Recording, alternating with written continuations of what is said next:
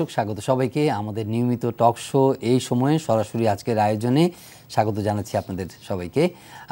সোনার মেয়েরা ট্রফি হাতে নিয়ে দেশে ফিরেছে ফুলের সম্বর্ধনা দেওয়া হয়েছে সাফ নারী চ্যাম্পিয়নদের, দেশের ফুটবলের সেরা অর্জন নিঃসন্দেহে এটি এবং ভালোবাসায় সবাইকে সিক্ত করেছে, গোটা জাতি সিক্ত করেছে। রাজধানী আজকে আনন্দের বন্যা ছিল, ছাদখোলা বাসে ট্রফি হাতে বীরের মতো নারীরা ঢাকায় পৌঁছেছে এবং ফুটবল ফেডারেশনে গেছে। সারা শহরে এক ধরনের উৎসবের আমেজ ছিল, জনতার বাদ ভাগা উচ্ছ্বাস আমরা দেখেছি। আলাপ করব আজকের অনুষ্ঠানে। এছাড়া অন্যান্য প্রসঙ্গে দিনের শিরোনামগুলো বলছি। মুন্সীগঞ্জে পুলিশের সাথে বিএনপি নেতাকর্মীদের সংঘর্ষে আহত হয়েছে অর্ধশত। ভিন্ন মত দমনে ছক কষছে সরকার, এই অভিযোগ বিএনপি মহাসচিব মির্জা ফখরুল ইসলাম আলমগীরের। বহিষ্কৃত ও অব্যাহতিপ্রাপ্ত নেতাকর্মীদের দলে ফিরিয়ে নিতে জাপা চেয়ারম্যান জি এম কাদেরকে চিঠি দিয়েছেন রওশন ইরশাদ, নির্দেশ দিয়েছেন। আর করোনার পরে এখন ডেঙ্গু রোগীর সংখ্যাও বাড়ছে। চলতি বছর ৪৫ জনের মৃত্যু ঘটেছে। ঢাকা সিটি সাতাশটি ওয়ার্ড ঝুঁকিপূর্ণ এই বিষয়গুলো রয়েছে, আলাপ করব। শুরুতেই পরিচিত হব, স্টুডিওতে সরাসরি এই মুহূর্তে উপস্থিত আছেন আমাদের সঙ্গে বাংলাদেশ আওয়ামী লীগের সাংগঠনিক সম্পাদক অ্যাডভোকেট আফজাল হোসেন। স্বাগত আপনাকে। রয়েছেন বিএনপির বিশেষ সম্পাদক ডক্টর আসাদুজ্জামান রিপন। স্বাগত আপনাকে। রয়েছেন এনটিভির স্পোর্টস এডিটর নাসিমুল হাসান। স্বাগত আপনাকে জনাব নাসিমুল হাসান এবং জুম প্ল্যাটফর্মে রাতে আমাদের সঙ্গে সরাসরি যোগ দিয়েছেন মাহমুদা শরীফা অদিতি, সাবেক প্রধান কোচ বসুন্ধরা কিংস নারী ফুটবল দল। স্বাগত আপনাকেও, মাহমুদা শরীফা অদিতি আপা। আপনাদের সবাইকে শুরু করছি আপনার কাছ থেকেই। মাহমুদা শরীফা অদিতি আপা আপনি এইসব যারা ফুটবল আর আজকে যে সোনার মেয়েরা তারা যে সাফল্য বয়ে এনেছে, গোটা জাতিকে গর্বিত করেছে, তাদের প্রস্তুত করার ক্ষেত্রে আমরা জানি যে আপনারও অনেকখানি ভূমিকা আছে। সে প্রসঙ্গে একটু বলবেন এবং এই যে জার্নি, এই জার্নির পরে আজকে যে বিশাল সাফল্য আমাদের ঘরে এলো সেটা সম্পর্কে আপনার অনুভূতি আমাদেরকে একটু বলেন। ধন্যবাদ আপনাকে ধন্যবাদ এনটিভিকে। অ্যাকচুয়ালি যে সাফল্য আজকে বাদ ভাঙ্গা উল্লাস, পুরো জাতি, পুরো দেশ করেছে, এটা শুধু আমার একা না, পুরো জাতিরই আর এটা এটা সম্পূর্ণটাই প্রাপ্য তো যারা এই সফলতার পিছনের মূল নায়ক এবং যারা মাঠে পারফর্ম করেছে। তো অ্যাকচুয়ালি এটা বলার অপেক্ষায় রাখে না যে মেয়েদের ইন্ডিয়া, নেপালের মতো অ্যাকচুয়ালি শক্তিশালী একটা দলকে পরাজিত করে ওরা মানে শ্রেষ্ঠত্ব অর্জন করে আমাদের দেশে ট্রফি নিয়ে খোলা বাসে চলে এসছে সবাইকে আনন্দ দিয়ে। অ্যাকচুয়ালি যে আনন্দ তো সবাই দেশবাসীকে দিয়েছে, আমি একটু বলতে চাই, সেটা হচ্ছে যে খোলা বাসে সুন্দর হাওয়ায় ওরা আনন্দ দিয়ে চলে আসছে। আমি আমি বলতে চাচ্ছি যে, এই খোলা বাসের আনন্দটা যেন ওদের মাথার উপরের একটা ছাদ দিয়ে আনন্দটা যেন সারা জীবনের জন্য যেন এক হয়ে থাকতে পারে। আমি বলতে চাচ্ছি যে, ওদের এই আনন্দটা কিন্তু ক্ষণিকের। এই আনন্দটা ক্ষণিকের, এই আনন্দটা কিন্তু একটা পর্যায়ে হয়তো বা সবাই ইতিহাস হিসেবে রেখে দেবে। কিন্তু পক্ষান্তরে মেয়েরা যে জীবন যুদ্ধে, এটা একটা যুদ্ধ, তারা দেশের জন্য একটা বড় যুদ্ধ করে আমাদের এই একটা দেশে চলে এসছে। কিন্তু এই দেশ থেকে তারা আসলে কি পাবে? তারা আজকে সংবাদের শিরোনাম হচ্ছে খোলা তাদের আনন্দ তারা পাচ্ছে। আমি চাচ্ছি যে তাদের মাথার উপরের যে ছাদটা, অনেকেই পারিবারিক অবস্থা অনেক মানে, মানে আপনি তাদের অর্থনৈতিক নিরাপত্তার প্রসঙ্গটি বলছেন। আমি অর্থনৈতিক নিরাপদ বলতে আমি একদম সরাসরি বলতে চাচ্ছি যে তাদের যেমন একটা আমাদের ছেলেরা কিন্তু ভালো করুক না করুক তাদের কিন্তু একটা স্পেসিফিক তাদের একটা অনারিয়াম কিন্তু অন্য মাত্রায় দেয়া হয়। এত বড় একটা জয় নিয়ে মেয়েরা এসছে প্রত্যেক আমাদের টিমের এই এই টোটাল টিমটার আপনারা জানেন অনেক নিউজ হয়েছে অনেকের সামর্থ্য এতটাই জড়ার জন্য এটা বলতে বলার অপেক্ষায় রাখে না। আমাদের এই খোলা ছাদ নিয়ে আমরা অনেক করছি। আমি চাচ্ছি যে প্রত্যেকেই একটা করে ফ্ল্যাট পাওয়ার মতো যোগ্যতা আমি মনে করি তারা অর্জন করেছে। তো খোলা ছাদের আনন্দটা আমরা সারা জীবনের ছাদের যে একটা মানে একটা মাথার উপর ছাতার মতো আমি চাই যে মেয়েরা এটা তাদের প্রাপ্য এরা এটা এই ব্যবস্থাটা যে কোনো ভাবে এটা গ্রহণ করা মনে হয় আমাদের। সময়ের দাবি হয়েছে নাসিমুল হাসান আপনি সেই প্রায় সকাল থেকেই দুপুর থেকেই বিমানবন্দরে অপেক্ষা করছিলেন অধীর আগ্রহে। অনেক গণমাধ্যম কর্মী সেখানে ছিল। বেশ খাটাখাটনি গেছে। অনেক ইভেন প্রেস কনফারেন্সও সেখানে করতে পারেনি। এত ভিড় আমরা দেখেছি। কি অভিজ্ঞতা হলো আপনার? আমি কি অদিতিকে একটু টাচ করব? নিশ্চয়ই। অদিতিকে টাচ মানে অদিতি যে কথাটা আসলে বলতে চাচ্ছিল কলসুন্দর রাঙামাটি রংপুর বান্দরবন এই জেলাগুলো থেকে এই পকেটগুলো থেকেই এই মেয়েরা উঠে এসছে এবং তাদের আর্থিক অবস্থা দারিদ্র খুব দারিদ্র পরিবার থেকে মানে এদের বাবা মারা হয়তো কারও বাসায় কাজ করে বা দিনমজুরি মানে আমি আমাদের এনটিভি থেকে দুটো রিপোর্ট করিয়েছিলাম কলসুন্দরের উপরে এবং আজকে প্রধানমন্ত্রী একটি মেয়েকে আমাদের গোলরক্ষক যে তাকে একটি বাড়ি করে দেওয়ার প্রতিশ্রুতি দিয়েছেন। আসলে ওনার বক্তব্য হচ্ছে যে এরা গত বছর বসুন্ধরা কিংসে খেলার পর এক একটা মেয়ে মানে অধিকাংশ মেয়ে ছ লক্ষ টাকা করে পেয়েছিল। মানে তারা বোঝাতে চাইছে আর্থিকভাবে যদি তারা নির্ভর না হতে পারে, তাহলে মাঠে তারা সেই প্রদর্শন মানে সেই খেলাটা খেলতে পারবে না। মানসিকভাবে সেইভাবে তৈরি হতে পারবে না। অর্থাৎ তাদেরকে যদি এটা ঘরের ব্যবস্থা করে দেওয়া হয়, ওই জায়গাটা থেকে যদি নিরাপত্তা দেওয়া হয়, তাহলে আরও মেয়েরা এগিয়ে আসবে।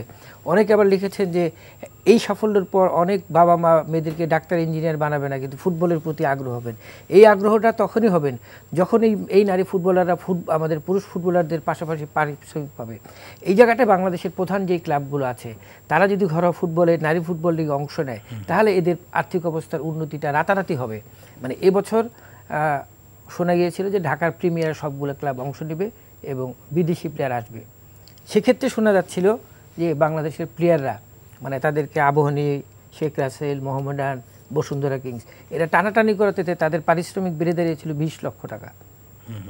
মানে এক একজন প্লেয়ারের প্লেয়ারের সংখ্যাটাও কম। এখন ঢাকার ফুটবলে যদি এই এই বড় ক্লাবগুলো না আসে তাহলে এদের আর্থিক অবস্থার উন্নতি সেটা তো ক্লাবের ক্লাব ফুটবল কথা হবে বলছেন কিন্তু ফুটবল ফেডারেশন এদেরকে ন্যাশনাল টিম হিসেবে তাদের গড়ে তোলার পেছনে কি কি ধরনের প্রতিশ্রুতি বা কি ধরনের পরিকল্পনা আপনি এখন এই সাফল্যের পরে দেখেছেন বা শুনেছেন? এই সাফল্যের পর তারা আপাতত মানে বা ব্যক্তিগত পর্যায় থেকে বিসিবি থেকে পঞ্চাশ লক্ষ দিয়েছে। দেড় কোটি টাকা পেয়েছে। একজন সহসভাপতি 50 লক্ষ দিয়েছে। তারা কিন্তু দুই হাজার ষোলো সাল থেকে বা- বাফুফের একাডেমিতে থাকে প্রায় সাত বছর একত্রে। এবং তাদেরকে ফিফা ছয় কোটি টাকার মতো একটা ফান্ড দেয়। ওকে এই টাকার দিয়ে টাকাটা দিয়েই তারা চলে। বাংলাদেশ এলিট একাডেমি বলে একটা একাডেমি আছে। যেখান থেকে ফুটবলাররা উঠে আসলে যদি ক্লাব নেয় ক্লাব তাদেরকে দশ লক্ষ বা বিশ লক্ষ করে টাকা দেয়। কিন্তু এই মেয়েদের ক্ষেত্রে এখন এটা অ্যাপ্লাই করা হয়নি। ওকে ধারণা করা হচ্ছে আগামীতে যদি প্লেয়াররা বাফুফের একাডেমি মানে এই মেয়েরা যেখানে একত্রে থাকে এদের থেকে নেয়। তাহলে বাফুফুকে তার টাকাটা দিতে আমরা এত টেকনিক্যাল ডিটেল বুঝব না। আমরা বলতে চাচ্ছি যে এই সাফল্যের পরে বাফুপে কি এমন কোনো অ্যানাউন্সমেন্ট দিয়েছে? যে এদের জন্য আমাদের এই প্যাকেজ থাকবে এদেরকে এদের নৈপুণ্য বাড়ানোর জন্য বা আরও আন্তর্জাতিক আসরে ভালো করার জন্য বাইরের কোচ নিয়ে আসা হবে এদেরকে বেতন পারিশ্রমিক বাড়িয়ে দেওয়া হবে এই ধরনের কোনো সুনির্দিষ্ট কোনো ঘোষণা আজকে পেয়েছেন কিনা? বাফু বাফুফের কাছে আর্থিক অবস্থা ভালো না। আচ্ছা। বাফুফে বলছে যদি বাংলাদেশ সরকার কিংবা কোনো কর্পোরেট যদি সাপোর্ট করে তাহলে তারা পৃষ্ঠপোষকতা করে তবে তারা এই ধন্যবাদ। আসছে আমাদের প্রথম পারফেক্ট জি আফজল ভাই নিশ্চয়ই আপনারা সবাই খুশি এই আন- এই এই মানে বিশাল সাফল্যে। না অবশ্যই আমরা তো সারাদিন আমাদের দৃষ্টিই ছিল যে আমাদের সোনার মেয়েরা কখন বাংলাদেশে আসবে এবং তাদেরকে বিরোচিত সম্বর্ধনা জানানোর জন্য ইতিমধ্যে ফুটবল ফেডারেশন এবং আমার সরকারের পক্ষ থেকে, মন্ত্রণালয়ের পক্ষ থেকে ব্যবস্থা গ্রহণ করা হয়েছে। এবং আমরা অবশ্যই তাদেরকে অভিনন্দিত জানা, অভিনন্দন জানাচ্ছি। কারণ এই কলসুন্দর গ্রাম থেকে উঠে গিয়ে সেই কাঠমান্ডুর দশরথ স্টেডিয়ামে তারা মাতিয়ে সেখানে বড় বড় টিমকে পরাজিত করে তারা বাংলাদেশের জন্য গৌরবটি নিয়ে এসেছেন। আমরা মনে করি যে এটি দেশের জন্য এক এক অভূতপূর্ব অর্জন এবং এই অর্জনে পুরো দেশবাসী আমাদের ক্রীড়াঙ্গনের আহ, এই যে বিশেষ করে নারী ফুটবলাররা তাদের প্রতি আমাদের শুভেচ্ছা থাকবে এবং আগামী দিনে এই খেলাধুলার মান উন্নয়ন করে তারা আরও বেশি দেশের জন্য সম্মান বয়ে আনবে এবং আমি যেটা মনে করি যে বর্তমান ক্রীড়া বান্ধব এই সরকার এবং এই সরকারের সময় কিন্তু সকল ক্রীড়া ক্ষেত্রেই কিন্তু মানে দেশের মাঠ মাতিয়ে তারা কিন্তু বিদেশের মাটিতেও সাফল্য অর্জন করেছে। এবং সেই ক্ষেত্রে আমাদের ইতিমধ্যে একজন কোচ এবং আমাদের এই যে ক্রীড়া সাংবাদিক, তাদের মুখ থেকেই আমরা বিশ্লেষণধর্মী কথাবার্তা শুনলাম। তো আমরা যারা আসলে খেলাধুলা দেখি এবং দেখে আমরা সেখান থেকে উৎসাহ পাই এবং আমাদের ক্রীড়ামন্ত্রীদের পাশে থাকি তো সেই ক্ষেত্রে আমরা বলতে চাই যে ভবিষ্যতে অবশ্যই বাংলাদেশের বঙ্গবন্ধু কন্যা জননেত্রী শেখ হাসিনার সরকার এই সরকার এই আমাদের নারী ক্রীড়া যে ফুটবলাররা তাদের জন্য অবশ্যই নিশ্চয়ই এমন কিছু ব্যবস্থা করবেন যাতে তাদের অর্থনৈতিক নিরাপত্তা সহ এবং তাদের খেলাধুলার মান অর্জন সহ সামগ্রিক মানে অর্জন এটি অবশ্যই আমরা প্রত্যাশা করি এবং সেটি হবে আমি এটা বিশ্বাস করি। আসুজ্জামান রিপন আপনার কাছ থেকে শুনতে চাই আপনার অনুভূতি। আসলে দেশের ফুটবল প্রেমী হিসেবে দেশের যে কোনো অর্জন সেটা ফুটবল বলেন ক্রিকেটে বলেন হোয়াট এভার যে কোনো অর্জনই তো আমরা খুব আন্দোলিত হই। দেশের মানুষ আমরা একটা বিরাট বড় একটা অর্জন না এত বড় একটা অর্জনে আমরা ভীষণ আন্দোলিত হয়েছি দেশের মানুষ সবাই। তো আমাদের মেয়েরা এত চমৎকার খেলেছে এবং এটা তারা জিতেছে একটা বড় ধরনের অর্জন নিয়ে আসলো বাংলাদেশের জন্য যেখানে সমস্ত ক্ষেত্রে আমাদের প্রায় নেতিবাচক ইন্ডেক্স এটা নামছে ওটা নামছে সব কিছু তো নামার দিক উ- উঠছে কোনটা? তো সেই ক্ষেত্রে এই খেলাটাই মানে একটা ইতিবাচক দিকে গেল। আর যে ফুটবলটা এবং দল মত নির্বিশেষে সব মানুষকে এক কাতারে নিয়ে ও ইয়েস ও ইয়েস মানে একটা ব্যাপার কি দেশের প্রশ্নে আমি দেখেছি সেটাকে না দল মত ধর্ম মত কিচ্ছু থাকে না। হ্যাঁ সব সব মানুষ এক থাকে। এবং এই এই বিজয়ের মধ্যে আমরা সেটাই দেখেছি। তবে একটা বিষয় যেটা হচ্ছে যে যে ফুটবলটা একেবারেই তো মৃত প্রায় ফুটবল। মানে মেয়েদের ফুটবল তো মেয়েরা অনেক ভালো করেছে এই মাসে মানে অনেক ভালো কি মানে অসাধারণ খেলা খেলেছে তারা। কিন্তু ছেলেদের ফুটবল যেটা মানে যে ফুটবল যাদের নিয়ে মাতামাতি করেন ওনারা যাদেরকে নিয়ে লেখেন ইয়ে করেন। ছেলেদের ফুটবল আজকে গত তিরিশ বছর আমাদের স্টুডেন্ট লাইফে যখন আমরা ইউনিভার্সিটিতে পড়তাম তখন আমি যখন ডাকসুদ ইলেকশন করেছি আমার সাথে দুজন ইলেকশন করল পরপর। কানন কাইসার হামিদ এখন যিনি ফুটবল ফেডারেশনের প্রেসিডেন্ট মানে সালাউদ্দিন আর দে আর অল স্টার্স তাই না? এই যে বাদল রায় অথবা আমরা আমিনুল হ্যাঁ গুণে শেষ করা যাবে না তখনকার এরকম ছিল। আমার মানিক, মতো মানে এই তিরিশ বছর পরে আমরা কি এরকম একটা চুন্নু বলেন বাদল রায় বলেন অথবা সালাউদ্দিন বলেন কানন বলেন অথবা মানে আমিনুল বলেন বা কাইসার আহমেদ বলেন আরেকটা তো হচ্ছে না। তো এটা কি এটা কি আমাদের সাফল্য না এটা আমাদের ব্যর্থতা? তো রাষ্ট্র তো ফুটবল ফেডারেশনকে কম্পেটনাইজ করছে না। এবং সালাউদ্দিন সাহেব উনি একসময় তো মানে এক কিংবদন্তি তুল্য মানে মানে খেলোয়াড় ছিলেন নিঃসন্দেহে। কিন্তু উনি যখন দায়িত্বে আসলেন তখন কিন্তু আমরা ধরে নিয়েছিলাম যে ছেলেদের ফুটবল তো বটেই মেয়েদের ফুটবলও অনেক কিছু করবে। তো সেক্ষেত্রে যেহেতু আমি তো রাজনীতির মানুষ তারপর তো খেলা তো দেখি বা খেলা দেখতে পছন্দ করি এবং একসময় তো আমরা খেলা দেখতাম। এই যে- যেটা বিরতি সমাপ্ত সাথে আলাপ করলাম যে ফুটবল হচ্ছে এমন একটি খেলা যে খেলাটা মানে খেলোয়াড় খেলেন কিন্তু দর্শকের পুরো শরীর মানে পুরো বডি করে। প্রতিটা অঙ্গ প্রত্যঙ্গ মানে খেলার সাথে মানে অ্যাটাচড হয়ে যায় এরকম একটা ব্যাপার। মানে দর্শক এই গোল মারছেন একজন কিন্তু দর্শকের পা নড়াচড়া শুরু হচ্ছে। দর্শকের হাত নড়াচড়া হচ্ছে মানে অ্যাজ যেন উনি গোল থামাচ্ছেন। হেড করতেছে নিজে হেড করে গোল এই যে এই যে অ্যাটাচমেন্ট এই যে একটা মানে সম্পৃক্ততা মান- মানসিক সম্পৃক্ততা। ফুটবল হচ্ছে এমন একটি খেলা যে খেলাতে দর্শক পর্যন্ত মানসিকভাবে সম্পৃক্ত হয়ে পড়েন প্রতিটা প্রতিটা অ্যাকশনে। তো আনফর্চুনেটলি আমাদের সেটা আপনি আমাদের ফুটবল ছেলেদের ফুটবল তো একেবারেই হতাশাজনক। বললাম তিরিশ বছর পর এখন মোহাম্মডানে কে মানে মানে ক্যাপ্টেন অথবা আবাহনীর কে ক্যাপ্টেন বলতে পারব না। মানে ওই যাদের নাম বলে মেয়েদের বাইরের কোনো নাম জানা নাই। তো এটা- এটা ম্যানচেস্টার চেলসির ক্যাপ্টেন এদের নাম। জানি কারণ বিদেশি অনেক খেলোয়াড় এখানে খেলতে আসেন। হ্যাঁ নাইজেরিয়ান প্লেয়াররা খেলতে আসেন অনেকে খেলতে আসেন। হাউবার আমরা আশা করব যে মেয়েদের এই এই যে সাফল্যে তাদেরকে এগিয়ে নিতে হবে মেয়েদের সাফল্যে অফকোর্স মেয়েদেরকে তো আরও এনকারেজ করতে হবে তাদেরকে সহযোগিতা করতে হবে পৃষ্ঠপোষকতা করতে হবে। উনিও যেটা বললেন তারপরে একজন মানে উনি বলেছেন আরেকজন আলোচক এখানে অংশ নিয়েছিলেন তিনি বলেছেন ইয়েস তাদেরকে ফিনান্সিয়ালি তাদেরকে মানে নির্ভর নির্ভর করতে হবে। But at the same time মানে আমি এটাই বলতে চাচ্ছি যে আমাদের কিছু একটা গাড়ি কিনে দিতে হবে একটা ফ্ল্যাট কিনে দিতে হবে। এই সাকিবদের দিয়ে তো আমরা দেখেছি যে বাবার নাম পর্যন্ত বদলে ফেলে এত কিছু দেওয়ার কারণে। এই সাকিব সাকিবরা তো এখন বাবার নাম বদলায় ফেলতেছে আরও লাভের জন্য। তো এই পর্যায়ে আমাদের খেলোয়াড়দের কি নিতে চাই? আমরা তাদেরকে নির্ভর করতে চাই। কিন্তু এত নির্ভর করার কোনো প্রয়োজন হবে না যে একটা পর্যায়ে যে সমস্ত খেলোয়াড়রা যে কেউ তার বাবার নাম বদলে ফেলে আরও মানে টাকা লুণ্ঠন অথবা মানে লোভের দিকে চলে যাবে দ্যাট শুড নট বি। তো তবে তাদের অর্থ- অর্থনৈতিক নিরাপত্তার ব্যবস্থা করতে হবে যাতে তারা আরও ভালো করে সেই ব্যবস্থা করতে হবে। খুব অন্যান্য দেশগুলোতে যা করে যেভাবে প্যাট্রোনাইজ সেভাবেই করতে ট্রেন করে ওইভাবে যেতে হবে। ধন্যবাদ জনাব আসুজ্জামান রিপন যে অদিতি আপা আপনি ওনাদের অর্থনৈতিক নিরাপত্তার কথা বলেছেন মাথার ছাদের কথা বলেছেন সবই পরিষ্কার আমরা বুঝেছি এবং নিশ্চয়ই কর্তৃপক্ষ এটা বিবেচনা করবেন। ওনাদেরকে নেক্সট লেভেলে যাওয়ার জন্য আপনার পরামর্শ কি? আরও গ্রেটার সাফল্যের জন্য কি কর- কর- করতে পারে? কর্তৃপক্ষ। আসলে মানুষের হ্যাঁ ঠিক আছে, মানুষের মৌলিক চাহিদার মধ্যে কিন্তু জানি যে আমরা পাঁচটা মানে কয়টা মৌলিক চাহিদা। তো সবগুলো যদি ফিল আপ করা যায়, তাহলে আমার মনে হয় না যে তাদের, তাদেরকে নিয়ে ভাবতে হবে। তারা কিন্তু একটা জায়গায় তখন ফোকাস করবে। অ্যাকচুয়ালি একটা প্লেয়ারের কি কাজ? তার প্লেইং ক্যারিয়ারে প্লেইং টাইমটাতে সে তার প্লেটাকে ফোকাস করবে। একদিন ও তো নামেই মাঠে গিয়ে ভালোভাবে খেলতে পারবেন না। সে তাকে কীভাবে প্রস্তুত করা যায়? আমি কিন্তু একটা যদি স্টুডেন্টকে আপনি যদি ক্লাস ফাইভ পাস না করে একেবারে যদি আপনি ইন্টারে ভর্তি করে ভার্সিটিতে ভর্তি করে দেন মাঝখানের এই ভর্তি আপনি করতে পারবেন কিন্তু সে কি করতে পারবে? তাকে দিয়ে কি সম্ভব হবে? আমরা এটা পরিষ্কার বুঝেছি।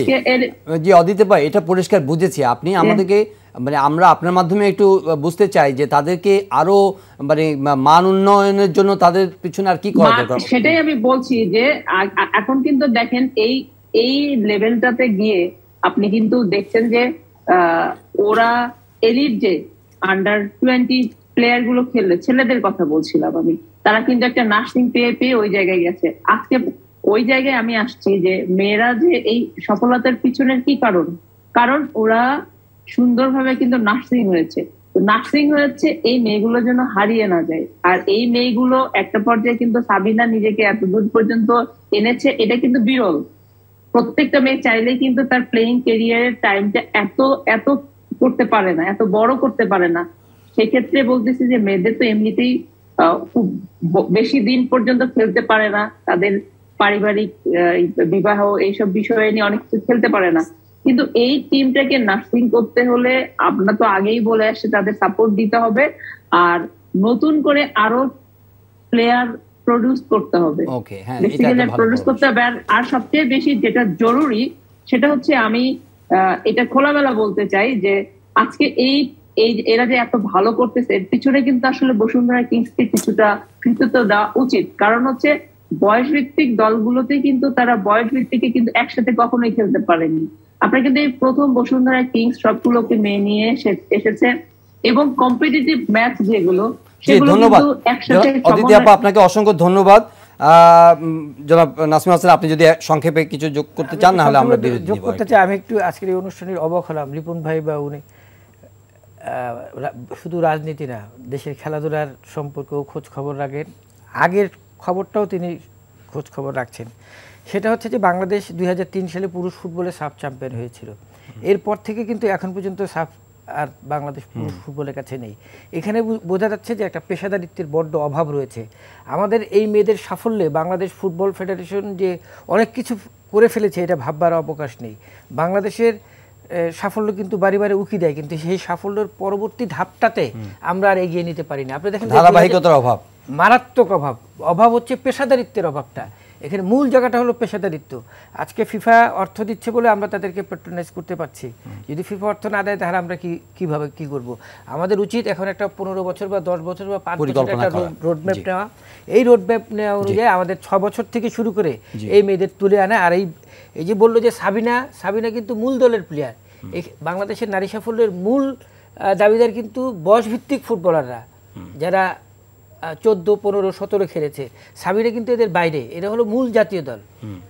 এই দলটাকে এখন বেশি বেশি করে আন্তর্জাতিক ম্যাচ খেলে পারদর্শী করে তোলা। পারদর্শী করে তোলা। এবং এটার জন্য বিদেশি কোচও আনার কথা বলতে অবশ্যই উচিত এবং এরকম একটা পরিকল্পনা নিলে বাংলাদেশের এবং আমরা এই আলোচনা যখন শেষ করব শেষ করার আগে আমরা গোলাম রাব্বানি ছোট যে কোচ এই মেয়েদের প্র- প্রস্তুত করেছেন এবং তাদের দুর্দিনে তাদের সঙ্গ দিয়েছেন তাদের তাদেরকে দেখভাল করেছেন এবং তাদেরকে এই পর্যায়ে নিয়ে এসেছেন তাকেও আমরা আন্তরিকভাবে কৃতজ্ঞতা এবং ধন্যবাদ জানাচ্ছি। অবশ্যই। আলাপ করব একটু রাজনৈতিক প্রসঙ্গ নিয়ে আলাপ করব এতক্ষণ ফুটবলে ছিলাম। একটু কনফ্রন্টেশনাল মনে হচ্ছে রাজনৈতিক পরিস্থিতি, কর্মসূচি, বিএনপির কাছ থেকে আসছে, আবার একই সঙ্গে বিভিন্ন ধরনের বাধা কিংবা সংঘর্ষ, সে খবরগুলো আমরা পাচ্ছি। আজকে যেমন মুন্সিগঞ্জে পুলিশের সাথে বিএনপি নেতাকর্মীদের সংঘর্ষ হয়েছে, অর্ধশত আহত হওয়ার ঘটনা ঘটেছে এবং মির্জা ফখরুল ইসলাম সাহেব অভিযোগ করেছেন যে ভিন্নমত দমনে ছক কষছে সরকার। জনাব আফজাল হোসেন। আমার কাছে মনে হচ্ছে যে ঘটনাগুলো মানে হচ্ছে এবং এর পিছনে কোনো একটা কলকাঠি আছে। তা না হলে হঠাৎ করে উত্তপ্ত কেন হবে? এবং সরকারের পক্ষ থেকে আমরা কিন্তু বারবার বলছি যে, মাননীয় প্রধানমন্ত্রী তিনি বলেছেন যে, বিরোধী দলের সহ সমাবেশ করতে কোনো বাধা নাই। হ্যাঁ ইভ- ইভেন আমাদের দলের পক্ষ থেকে আমরা সম্পাদক মণ্ডলী যে বৈঠক করলাম, সেখানে আমাদের দলের সাধারণ সম্পাদক স্পষ্ট বললেন যে, এখানে কোনো রকম কোনো নির্দেশনা নাই এরকম মানে উত্তেজনা সৃষ্টি করার। কিন্তু আমরা দেখলাম যে বিএনপির তরফ থেকেই এক ধরনের প্রভোকেশনটা আছে। দেখেন যে হ্যাঁ একটা জাতীয় পতাকা বহন হতেই পারে কিন্তু জাতীয় পতাকা কিসের সাথে বাধা? বাঁশ দেখলাম, অথবা গজারি কাঠি, অথবা বিভিন্ন রকমের রড এর সাথে জাতীয় পতাকা বেঁধে মিটিংয়ে আসা হচ্ছে। এবং উদ্দেশ্যটাই হচ্ছে যে, কোনো একটা ঘটনা তৈরি করতে হবে। এবং ঘটনা তৈরি করার পিছনে বক্তৃতা যখন হয়, আমরা তো টেলিভিশন, অনেকগুলো টেলিভিশন, বিএনপি তো সবসময় বলে যে আমাদের কথা বলতে দেয় না। কিন্তু বাংলাদেশে এখন কতগুলো আজকে মানে টেলিভিশন, তারপরে অনলাইন মিডিয়া, তারপর পত্রিকার তো ইয়াত্তা নাই, সারা বাংলাদেশ মিলিয়ে প্রায় তিনশোর বেশি হবে। তো সব মিলিয়ে কোনো কথাই কিন্তু বিএনপির মানে অথবা যারাই বক্তৃতা বিবৃতি দেয় সব কিছুই কিন্তু মানুষের কাছে পুষতেছে। সুতরাং সেখানে কোনো বাধা নাই। একটা সময় আমরা যখন রাজনীতি করতে আসি অথবা নব্বই ওই সময় পত্র পত্রিকায় পত্রিকায় এক কলমে এক ইঞ্চি একটা নিউজ হতো, সেখানে একটু লেখা ছাপা হলেই আমাদের কাছে মনে হতো যেন বিশাল একটা কিছু করে ফেলছে। কিন্তু এখন, কিন্তু প্রচণ্ড রকমের কিন্তু প্রত্যেকের পকেটেই কিন্তু একটা ব্রডকাস্টিং সেন্টার যে এই যে মোবাইল, সামাজিক যোগাযোগ মাধ্যম, এটা কিন্তু আছে, সবার পকেটেই আছে, এতভাবে মিডিয়া সুতরাং বিএনপি তাদের প্রচার প্রপাগান্ডা সমস্ত কিছু করতে পারছে। আরেকটা জিনিস, সেটা হলো তো এই সুবিধাটা তো বিএনপি সবসময় নিচ্ছে, যে আপনি তো সাংবাদিক মানুষ, অবশ্যই জানবেন যে সাংবাদিকতার ভাষায় একটা কথা আছে যে bad news is the good news তো সুতরাং সেই গুড নিউজের জন্য বিএনপি সেই সুবিধাটাও পাচ্ছে।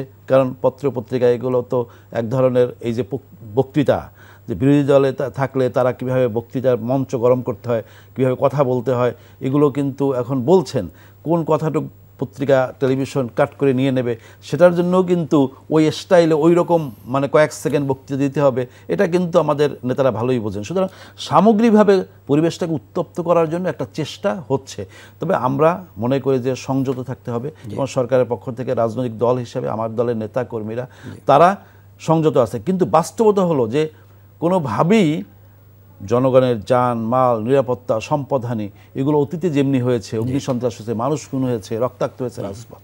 আমরা চাই না সেই অবস্থা হোক। সুতরাং সেটা যাতে কোনোভাবেই কেউ না করতে পারে তার জন্য আমাদেরও ভিজিল থাকতে হচ্ছে। আমাদের নেতা কর্মীরা আমাদের অঙ্গ সংগঠন তারা আমরা চাই না কেউ পায়ে পাড়া দিয়ে কোনো ঝগড়া করতে। কিন্তু বিএনপি যেটা করছে অথবা মানে সরকারের আমি জানি না তাদের দলের এটি একেবারে নীতি কিনা কিন্তু আমি মনে করি এই জায়গা থেকে সরে আসুন। নির্বাচন এখনও এক এক দেড় বছর বাকি আছে আলাপ আলোচনা হচ্ছে নির্বাচন হবে নির্বাচন অংশগ্রহণ করবে সাংবিধানিক পথে নির্বাচন হবে কিন্তু যেভাবে মাঠেই ফয়সালা করতে যাচ্ছে সেই ফয়সালাটি কোন পর্যায়ে হবে সেটি তো যদি করতেই চায় তাহলে রাজনৈতিক দল হিসেবে আওয়ামী লীগ আমরাও তো মাঠ ছেড়ে দেবো না সুতরাং মাঠে সবাই থাকবে। জি হ্যাঁ। জনাব রিপন পায়ে পাড়া দিয়ে ঝগড়া করার চেষ্টা করা হচ্ছে। আসলে আমি মানে আফজাল হোসেন আমার খুব স্নেহ- স্নেহাস্পদ তার কথাগুলো খুব মনোযোগ দিয়ে শুনছিলাম। বিষয়টা হচ্ছে যে বিরোধী দলের কাজটা কি? বিরোধী দলের কাজ হচ্ছে সরকারের নেতিবাচকমূলক যত পদক্ষেপগুলো আছে সেগুলোর ভিন্নমত থাকবে তাদের নিজেদের বক্তব্য তুলে ধরবে ইত্যাদি। তো বিএনপি এখন যে লড়াইটা করছে যে আন্দোলনটা করছে মূলত সেটা হচ্ছে যে একটি নির্দলীয় তত্ত্বাবধায়ক সরকার অধীনে নির্বাচনের আয়োজন।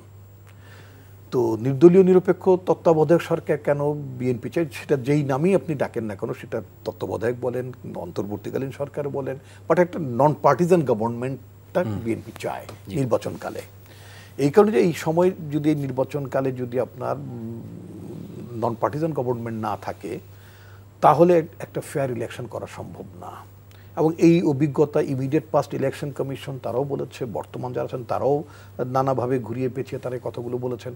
এবং সবচেয়ে বিপজ্জনকটা হচ্ছে আপনি দেখ- দেখবেন যে এই যে পলিটিক্যাল গভর্নমেন্টের অধীনে যেটা আপনার এখন যে নির্বাচন কমিশনটা অ্যাপয়েন্টেড হলো বলা হবে যে একটা আইনের মাধ্যমে হচ্ছে ফাইন আইনটা যদি আপনার নিজের মতন করেই যদি তৈরি করেন মানে আমি এটা বলতে চাচ্ছি, আপনার নিজের লোকগুলোকে আনার জন্য যদি ব্যবস্থা করেন, সেই জাতীয় যদি রিক্রুটিং অথরিটি নিয়োগ করেন, যেমন মনে করেন আপনার এইটার যে বাছাই, যাচাই, বাছাই কমিটির প্রধান যিনি ছিলেন, তিনি একসময় ছাত্রলীগের নেতা ছিলেন, তাই না? মানে জাস্টিস ওবায়দুল হাসানের কথা আমি বলতে চাচ্ছি। তিনি আওয়ামী লীগের নির্বাচনে মনোনয়নও চেয়েছিলেন মানে একজন চিহ্নিত ব্র্যান্ডেড মানে আওয়ামী লীগের। তো তিনি বিচার বিভাগে বসছেন that is a different identity but তার ব্যাকগ্রাউন্ড তো আপনি মুছে ফেলতে পারবেন না। তিনি কি চাইবেন যে তার দলের স্বার্থের বাইরে তিনি যে দলটা করতেন, পছন্দ করতেন, যাদের নমিনেশন চেয়েছিলেন, তার বাইরে একটা অন্য কি ইলেকশন কমিশন আসুক, নিশ্চয়ই চাইবেন না সেভাবেই হয়েছে। এবং আপনি সবচেয়ে মজার ব্যাপারটা দেখেন, কেন আমরা ইলেকশন কমিশন আন্ডার ইলেকশনে যেতে চাই উনি বললেন যে নির্বাচন এখনও সময় আছে, দেড় বছর পর হবে। কিন্তু এই নির্বাচন কমিশন তো নির্বাচন করা ডিফিকাল্ট কারণ যেই নির্বাচন কমিশন একটা সংলাপের আয়োজন করল। আমাদের দল এবং আমাদের দলের মতো আরও আট নয়টি দল নির্বাচনে সংলাপে যায়নি বটে। বাট উনচল্লিশটা পলিটিক্যাল পার্টির মধ্যে আওয়ামী লীগ সহ চারটি পলিটিক্যাল পার্টি মাত্র যারা অ্যাবসলিউটলি তরিকত ফেডারেশন তারপরে আপনার সাম্যবাদী দল দিলীপ বড়ুয়া সাহেবের এরকম জাসদ এরা ছাড়া আর সমস্ত পলিটিক্যাল পার্টিগুলো ইভিএম এর বিরুদ্ধে কথা বলল। যে তারা ইভিএম এর নির্বাচন চায় না। These are known. কিন্তু প্রশ্ন মানে হচ্ছে যে উনি বললেন যে আপনারা কি মাঠে ফয়সালা চাচ্ছেন আমি আসছি সেই কারণেই। আমি ওই কথাটাই বলতে আপনি দেখ কি- দেখলাম আমরা? যে ইলেকশন কমিশন এই যে যারা অংশীজন যাদের সাথে কথা বললেন, তাদের মতের বাইরে যে তারা বললেন একরকম, ওনরা একটা ফলাফল ঘোষণা করলেন। অর্থাৎ বলে দিলেন যে হান্ড্রেড ফিফটি আসনে নির্বাচন হবে। অথচ এর আগে বলেছিল যে রাজনৈতিক দলগুলোর সাথে সংলাপের মধ্য দিয়ে যে সিদ্ধান্ত আসবে সেটি তারা রেকমেন্ড করবেন। তাই যদি হতো, তাহলে তো হান্ড্রেড ফিফটি সিটসে ইভিএম আসার কথা না, তো যারা অংশীজনের সাথে সংলাপ করে তাদের মত পাল্টে দিতে পারে, এই ইলেকশন কমিশনের অধীনে নির্বাচন হলে তো তারা ফলও বদলে দেবে। এটা এটা এখন মাঠে ফয়সালার কথাটাই, রাজনৈতিক দলের কাছে হচ্ছে মাঠ মানে হচ্ছে আন্দোলন, আন্দোলনের মধ্যেই ফয়সালা হতে হবে। এই কারণে আজকে যদি আমরা যতই আওয়ামী লীগ সরকারকে বলি যে আপনারা মেহরবানি করে ক্ষমতা ছেড়ে দিন এবং একটা তত্ত্বাবধায়ক সরকারের কাছে দিন ইত্যাদিতে তারা বলবেন যে সংবিধানে নাই। আমরা বলব সংবিধানও তো সংবিধানে তো তত্ত্বাবধায়ক সরকার ব্যবস্থা বাতিল হয়নি এটা আমাদের বক্তব্য। কেন বাতিল হয়নি? যে যে একজন রিটায়ার্ড প্রধান বিচারপতি ষোলো মাস আগে যিনি রিটায়ার করলেন তিনি বাড়িতে বসে ঘুমিয়ে ঘামিয়ে বেরিয়ে নানানভাবে জীবনযাপন করে তিনি একটা রায় বাসা থেকে পাঠিয়ে দিলেন মানে তার পার্সোনাল স্টাফের স্টাফকে দিয়ে বা তার ব্যক্তিগত স্টাফকে দিয়ে পাঠিয়ে দিলেন এবং সেটা বলা হলো যে এটা নাকি এটা নাকি হাই সুপ্রিম কোর্টের রায়।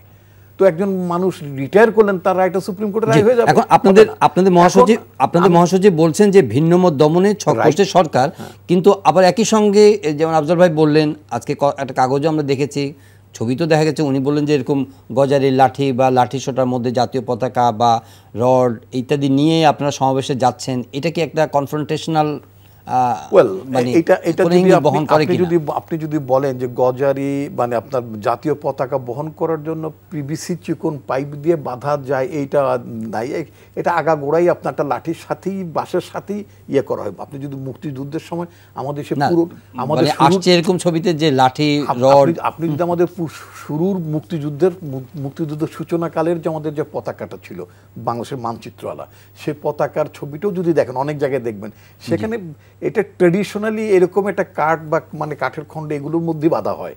এটার মধ্যে অন্য কিছু খোঁজার কোনো কারণ কিন্তু আমি বলতে চাচ্ছি অন্য জায়গায়। আওয়ামী লীগ রাজনৈতিকভাবে এতটাই দন্যতার মধ্যে গিয়েছে, তারা উনি বলেছেন যে তারা আর মানে মাঠে থাকবেন, রাজনীতিটা রাজনীতিতে ইয়ে করবেন মানে ট্যাকল করবেন মানে ঠেকাবেন।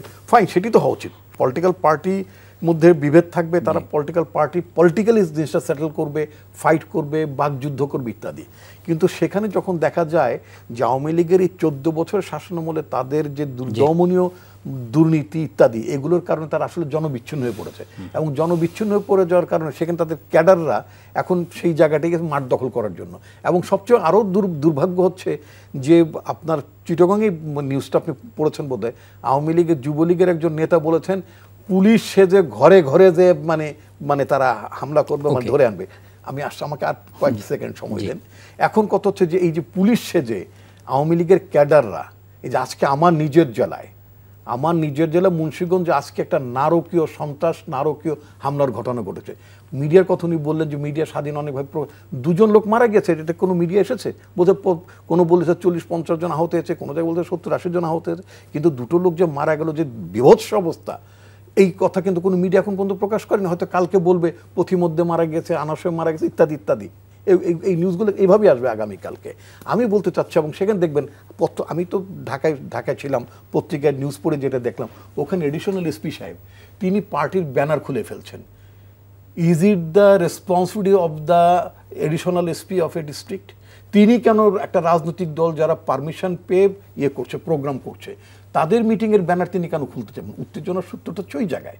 তো যখন প্রশাসনের এবং পুলিশের পুলিশের নির্দিষ্ট লোকজন যখন যারা মানে ক্যাডার মানে আওয়ামী ক্যাডার পুলিশ। তারা যখন রাজনৈতিক দলের ক্যাডারের ভূমিকায় চলে আসে এবং তারা যখন বিরোধী দলকে দমন করার জন্য যখন আওয়ামী লীগের ক্যাডারের ভূমিকা নামে তখন সেখানে নেচুরালি মানে উত্তেজনা উত্তেজনা হবে। যেন আফজাল হোসেন জানমালের নিরাপত্তা রক্ষার নামে যখন স্টেট অ্যাপারেটাস সরকারের হাতে, তখন এটা তো একটা মানে আপনার কি বলে যে আদর্শ বক্তব্য। কিন্তু মাঠের ক্ষেত্রে দেখা যায় যে অভিযোগগুলো আসছে, এগুলো কীভাবে আপনারা খণ্ডন করবেন? না, অভিযোগ খণ্ডনের করার বিষয় না। বিষয়টা হলো যে বিএনপি আসলে সবাইকে প্রতিপক্ষ ভাবে।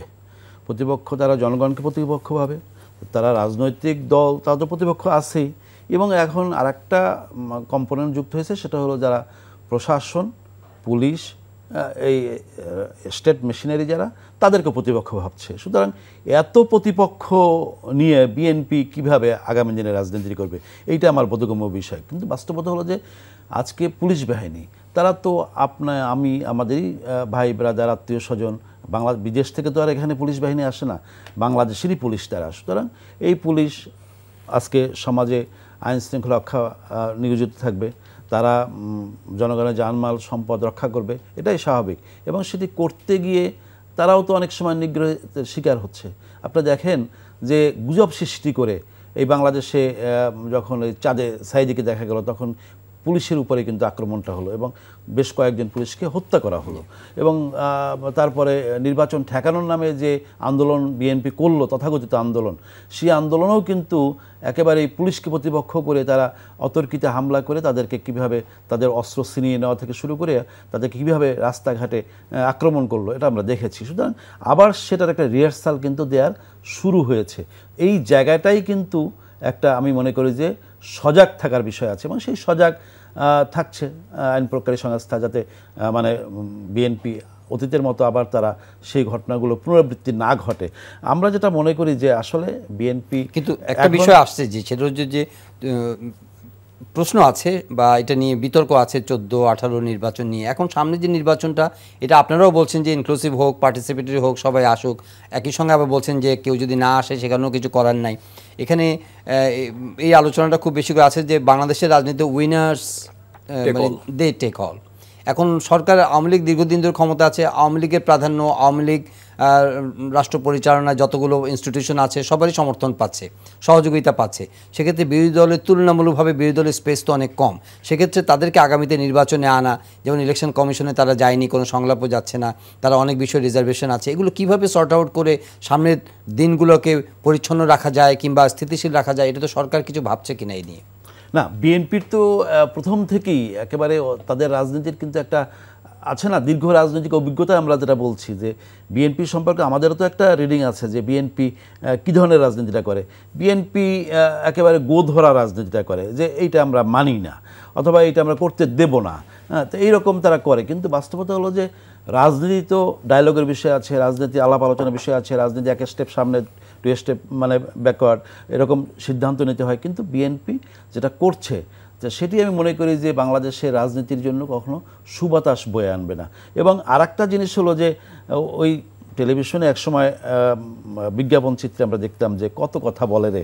এখন বিএনপির নেতারা দেখি যে কখনো কেউ প্রেস ক্লাবের সামনে কখনো কেউ হাত উঁচিয়ে সেই পল্টনে অথবা তাদের অফিসের সামনে অথবা তাদের অফিসের ভিতরে বসে বিভিন্ন জায়গায় বসে সব নেতারা কিন্তু একেবারে সমস্যার বক্তব্য দেয় এবং বক্তব্যগুলো যেভাবে দেয় তাতে আমি মনে করি যে বক্তব্যগুলো দেয়। এতে কিন্তু মনে হয় যে বিএনপি বলতে চায় যে বাংলাদেশে গণতন্ত্রের কথা বলে। কিন্তু এই বিএনপি তো সেই বিএনপি বিএনপি। গণতন্ত্রকে হরণ করেই যারা বাংলাদেশে ক্ষমতায় এসেছে এবং জিয়াউর রহমান কীভাবে হানাভোটে উৎসব করেছে, কীভাবে বাংলাদেশে ভোট ব্যবস্থা ধ্বংস করেছে, আমরা সকলেই জানি এবং তেরাশি সাল পর্যন্ত এই দেশে একেবারে কারফিউ গণতন্ত্র ছিল এই দেশে। এবং বহুদলীয় গণতন্ত্রের নামে দল ভাঙার রাজনীতি হ্যাঁ, নেতাদের চরিত্র হননের রাজনীতি এগুলো বাংলাদেশে তো হয়েছে। সুতরাং এগুলো আমরা রাজনীতির যারা রাজনীতি কর্মী আমি কিন্তু রাজনীতি তো দেখেছিও বাংলাদেশে।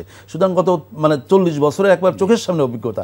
সুতরাং বিএনপি কী কী করতে পারে কী কী করছে এগুলো আমরা জানি। সুতরাং সেই বিএনপির মুখে যখন বলে যে আইনের শাসন এখন এই বিএনপি আইনের শাসন বলে আমাদের অবশ্যই তো দগদগে ঘা আমাদের মনের মধ্যে যে এই বিএনপি তো পনেরোই আগস্টের হত্যাকাণ্ডের সুফল বয়ে নিয়ে তারা বাংলাদেশের রাজনীতি করেছে ইন্ডেমনিটি অধ্যাদেশের সুফল তারা গ্রহণ করেছে, তারা ইন্ডেমনিটিকে আইনে পরিণত করেছে। আবার তারা সম অধিকার চায় অথবা রাজনীতির একটা সুষ্ঠু পরিবেশ লেভেল প্লেইং ফিল্ড চায়। শুনতে ভালোই লাগে কথাগুলো, কিন্তু আপনি দেখেন যে একুশে আগস্টের আমাদের নেত্রী বঙ্গবন্ধু কন্যা জননেত্রী শেখ হাসিনা, আজকে যিনি নন্দিত প্রধানমন্ত্রী একুশ বার হত্যা ষড়যন্ত্রের পরও যিনি বাংলাদেশটাকে একটা মানে মুক্তিযুদ্ধের ধারায় নিয়ে আসার জন্য আপ্রাণ চেষ্টা করে যাচ্ছেন।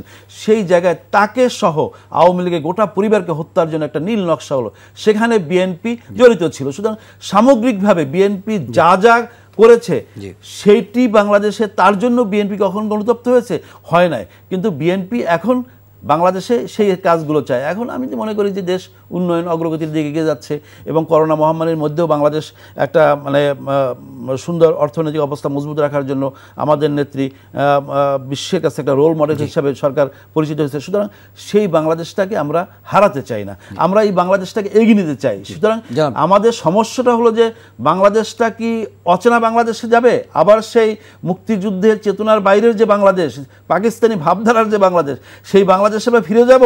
সুতরাং আমরা মনে করি মানে ভোটের রাজনীতি অবশ্যই থাকবে। সত্তর সালে ভোট হয়েছিল ফয়সালা হয়ে গিয়েছিল। তারপরে কিন্তু এক সাগর রক্তের বিনিময়ে আবার একটা ফয়সালা করতে হয়েছে। এবং তার মাধ্যমে একটা রাজনৈতিক যে আমাদের আদর্শিক জায়গাটা আমরা মুক্তিযুদ্ধের চেতনা একটা অসাম্প্রদায়িক বাংলাদেশ সেই জায়গায় বিএনপি কি ওই ধারা রাজনীতিটা করে? সুতরাং ওই ধারায় যেহেতু রাজনীতিটা করে না সুতরাং লড়াইটা কিন্তু বিভিন্নমুখী লড়াই। এবং সেই লড়াইয়ে বিএনপি কীভাবে কাজ করবে আমি জনগণের সাথে সেটি বিএনপি বুঝবে। ধন্যবাদ জন আসফিজামান রিপন। ধন্যবাদ। কোনো ডায়ালগের মধ্যে নেই আপনারা? মানে সমঝোতার মধ্যে নেই? আওয়ামী লীগ নেতার বক্তব্য শুনে মনে হচ্ছিল যে বিএনপির বিরুদ্ধে তাদের অভিযোগের কোনো শেষ নেই।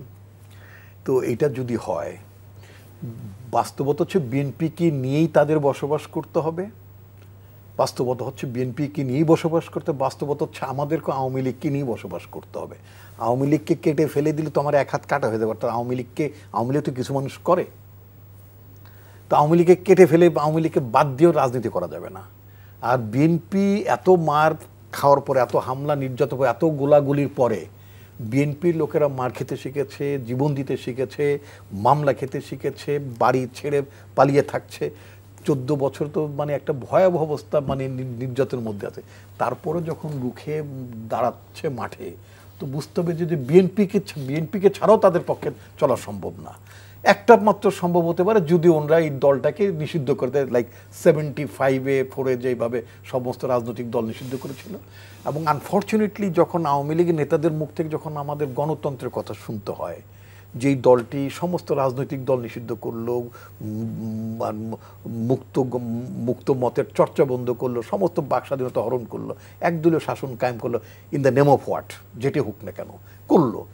এবং সেটাকে ফিরিয়ে ফিরিয়ে আনলো বিএনপি বাংলাদেশ আজকে বহুদলীয় গণতান্ত্রিক ব্যবস্থা that was initiated by BNP and its founder president Ziaur Rahman.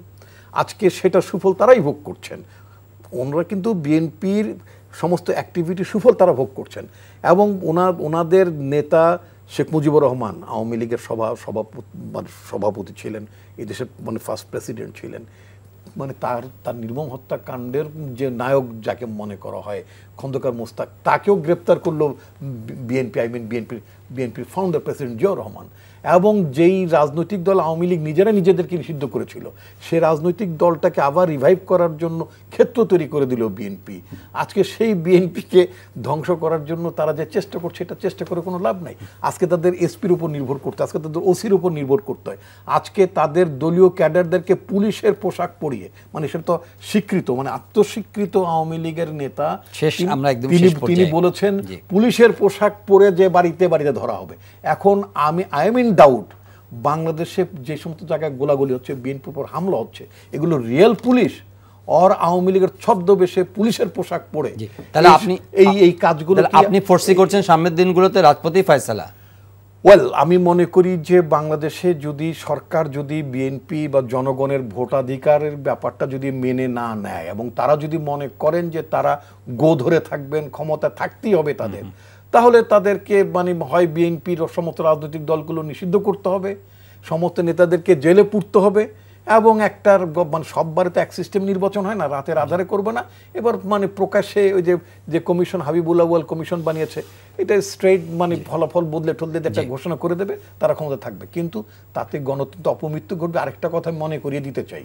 Obaidul Quader সাহেব যত চেগিয়ে মেগিয়ে কথা বলেন বিএনপির বিরুদ্ধে এত চেগানো কথাবার্তা ভবিষ্যতে থাকবে না। কারণ আজকে যদি গণতন্ত্র বিনষ্ট হয় গণতন্ত্র যদি হুমকির সম্মুখীন পড়ে আমরা তো দেখেছি ওবায়দুল কাদের সাহেবের চোখে পট্টি বান্ধা বিস্কুট খাইতে খাইতে উনি অনেক সত্য কথা বলতেন।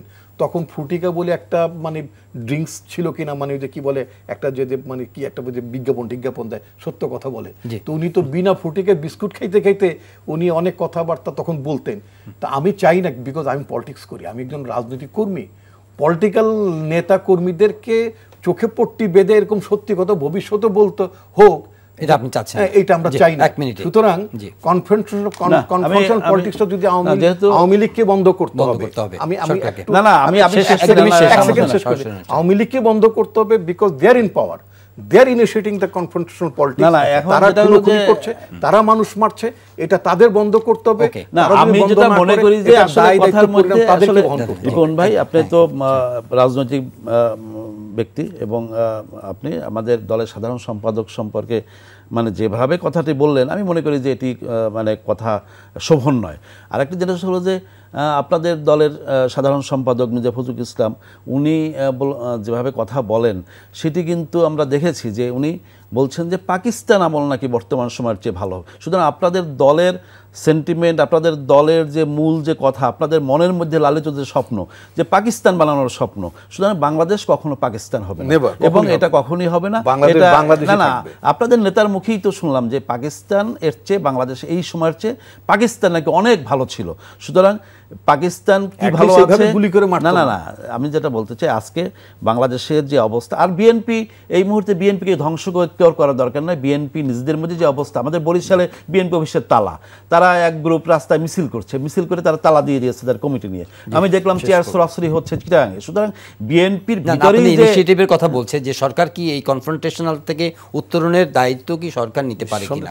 না না আমরা সরকারের পক্ষ থেকে অবশ্যই আমরা চাই যে আমরা চাই যে একটা সাংবিধানিক পন্থায় আগামী যে নির্বাচন হবে এবং সেই নির্বাচনে বিএনপি আসবে এবং সকল দল অংশগ্রহণ করে একটা সুষ্ঠু অবাধ নিরপেক্ষ নির্বাচনের মাধ্যমে আগামী দিনে পাওয়ার ট্রান্সফার হবে এবং আওয়ামী লীগের ইতিহাস আছে একমাত্র শান্তিপূর্ণভাবে ক্ষমতা হস্তান্তর করা। দুই হাজার এক সালে আমরাই বঙ্গবন্ধু কন্যা শেখ হাসিনার নেতৃত্বে ক্ষমতা শান্তিপূর্ণভাবে হস্তান্তর করেছিলাম। সাংবিধানিক শূন্যতা সৃষ্টি করার জন্য যে তৎপরতা বাংলাদেশ সৃষ্টি করার চেষ্টা করছে বিএনপি সেটা কখনোই সফল হবে না। কারণ আমরা ইতিপূর্বে দেখেছি যে সাংবিধানিক অবস্থা শূন্য করার সুবিধার্থে যেটা করেছিল যে ইয়াজউদ্দিন সাহেব অথবা সেই সময় এবং পরবর্তীতে আমরা দেখেছি এবং আমাদের- আন্দোলনের। সেই সময়ে তারা দেখেছি যে। কীভাবে তাদের সেই মঈনুদ্দিন ফখরুদ্দিন তাদের। না না আমাদের আন্দোলনের ফসল। মঈনুদ্দিন সাহেব উনি তো সেই সুপার সিট করে আপনারা তাকে বসাইলেন না ফখরুদ্দিন সাহেবকে বিশ্ব ব্যাংকে আপনারাই চাকরি দিয়েছেন সুতরাং আপনারা তাদেরকে এনে তারপর আমরা তো একটা নির্বাচনের নির্বাচনের কিবরিয়া সাহেবকে আমাদের আনতে চেয়েছিলেন। পাঠিয়েছি তাই না? আর এরকম তো হইল প্রজাতন্ত্র আর সবাই হইল এইভাবেই হবে আপনারা আওয়াল সাহেবের কথা বলতেছেন আপনারা যে আজিজ মার্কাজ যে নির্বাচন কমিশন গঠন করেছিলেন এবং এক কোটি তেইশ লক্ষ ভুয়া ভোট করেছিলেন এবং তারপরে যে তিনশো যে আমার- না না তিনশো যে মানে ছাত্র দলের ক্যাডারদের দিয়ে নির্বাচিত অফিসার তৈরি করেছেন সুতরাং এইগুলো বাংলাদেশে তো অতীতের ইতিহাস এগুলো আপনারা করেছেন। আমরা এরকম আমরা চাই নির্বাচন কমিশন স্বাধীন এবং নির্বাচন কমিশন অবাধ জায়গায় সুষ্ঠু তারা নিরপেক্ষ ভোট হতো, নির্বাচন করার জন্য আপনারা কাজ করবে এবং বাংলাদেশটাকে এটা সুষ্ঠু অবাধ নির্বাচনের মাধ্যমে সেই নির্বাচনে আপনারা অংশগ্রহণ করেন।